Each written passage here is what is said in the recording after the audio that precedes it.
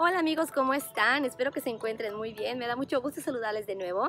El día de hoy les voy a platicar sobre los búhos pigmeos. Y es que ya lo vieron, hoy me acompaña un ejemplar que tenemos bajo nuestro resguardo aquí en la UMA Evenus. Se trata de un pygmy, un búho pigmeo que rescatamos. Y este, en este video les voy a platicar un poquito sobre la rehabilitación que le hemos dado a este ejemplar. Em, porque aquí en la UMA tenemos un proyecto de rescate de fauna y nuestro objetivo siempre es liberarlos.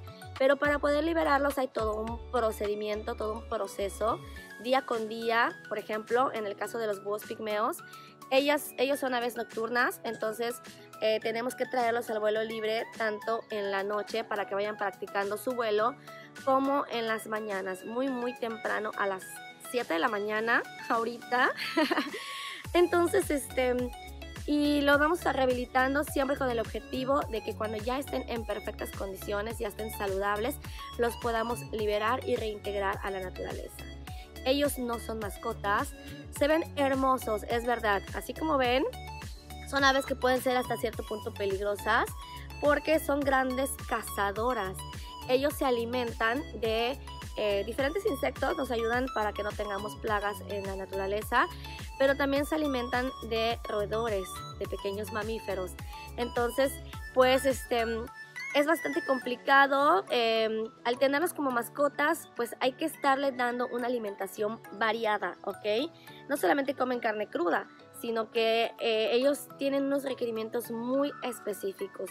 Y si nosotros les damos la misma alimentación todo el tiempo, pues este, los podemos dañar, los podemos lastimar eh, se descompensan y se enferman. Lamentablemente, digo, en el trabajo que nosotros hacemos aquí, pues a través de los videos les vamos compartiendo parte de nuestra experiencia con diferentes animalitos y pues muchas personas de repente nos mandan mensajes diciéndonos, oye, encontré un búho pigmeo o cualquier otra ave, ¿qué comen? ¿Qué le doy de comer? Y este, obviamente te das cuenta que no tienen ninguna intención de llevarlo a alguna asociación de rescate o si están en nuestro país, Semarnat, la Semarnat es la encargada de este, poder em, pues em, dirigir ¿sí? a estas aves alguna asociación. Entonces, si no conocen alguna asociación, directamente con Semarnat y ellos son los encargados de ver dónde llevarlo para que cuiden de ellos y luego los reintegren a la naturaleza. Entonces, te das cuenta de que este, no quieren entregarlos, simplemente quieren saber cómo cuidarlos para tenerlos en una jaula, lo cual no es recomendable. Las aves en jaula no son felices. Entonces tenemos que tenerlos libres. Si nos encantan las aves, hay que dejarlas en libertad. Y este de repente me ha tocado algunos casos que, em, pues definitivamente, eh, no les das la información porque no podemos compartirles. Es un trabajo excesivamente grande el que hacemos, hacerles las dietas, irles variando su alimentación. Entonces no podemos decirle, mira, aquí está toda la información porque sabemos que los van a tener en cautiverio. Oigan al gallo, son las 7 de la mañana. y este, y pues al final no te hacen caso, no los llevan a alguna asociación de rescate, te ponen mil pretextos y en dos, tres meses te vuelven a contactar para decirnos, oye, ¿sabes qué? Se me enfermó, veo cómo está. Y nos mandan los videos de ya el pajarito, el ave silvestre ya todo desnutrido, todo mal, las plumas eh, están opacas, ya están... No, no, no, terrible. Y pues este, ya es muchísimo más complicado darle una ayuda o darle una asesoría. Entonces realmente nosotros lo que aconsejamos es este, siempre, siempre, siempre llévenlos con una alguna asociación de rescate porque ahí sí les van a dar la alimentación adecuada y seguramente sí los van a liberar. Y en este proceso de la rehabilitación, pues nos lleva a veces eh, poco tiempo, a veces es una semana, solamente se cayó del nido y es cuestión de esperar a que crezca. Otras veces nos lleva, no sé, este, un mes, dos meses. Y este, hay quienes, hay, hemos tenido aves que nos han llevado ocho meses, un año cuidar de ellas y ya luego rehabilitarlas y liberarlas. Entonces todo depende de la situación, del caso que, que se presente. Pero este, en nuestro proyecto, me encantan sus ojos, nuestro proyecto siempre es liberarlos, no queremos tenerlos en cautiverio, tenemos las instalaciones, de hecho ahorita estoy en el vuelo libre, que es un área bastante grande, con muchos arbolitos, para que ellos puedan aprender a volar, aprender a cazar su alimento, porque ahorita le estoy dando alimento con la pinza, ¿ok? Pero parte de la rehabilitación también es em, dejarlos que ellos cacen su propia comida, les traemos insectos. No cualquier tipo de insecto pueden comer, hay insectos que sí, hay otros que no, entonces es irles dando la alimentación adecuada, les damos sus ratoncitos para cazar. Nunca he mostrado un video con ratones porque la verdad es que sí es un poquito fuerte y este pero es parte de lo que ellos hacen en la naturaleza. Entonces prácticamente les damos las condiciones como si estuvieran ellos este, libres para que cuando nosotros realmente los dejemos en libertad puedan sobrevivir.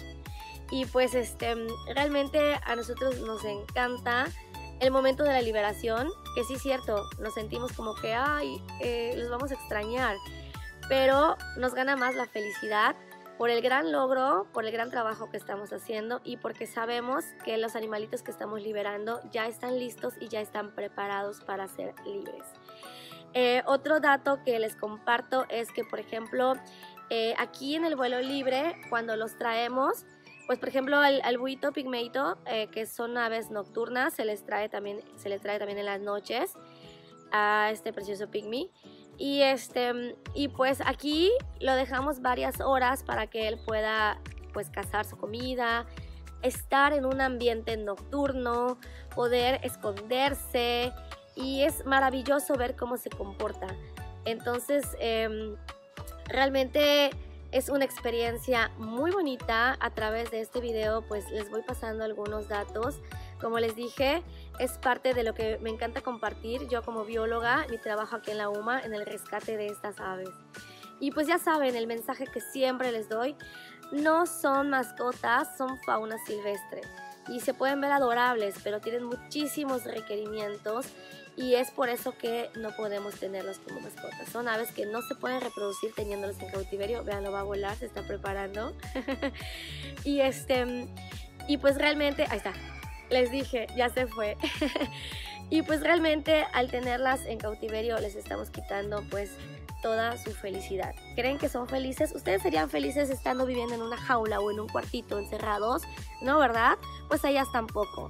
Entonces, ya saben, son fauna silvestre, no se reproducen en cautiverio, entonces no podemos decir lo compramos si no tienes los papeles de una UMA o de algún lugar donde se dediquen a hacer cría de animales, entonces es completamente ilegal.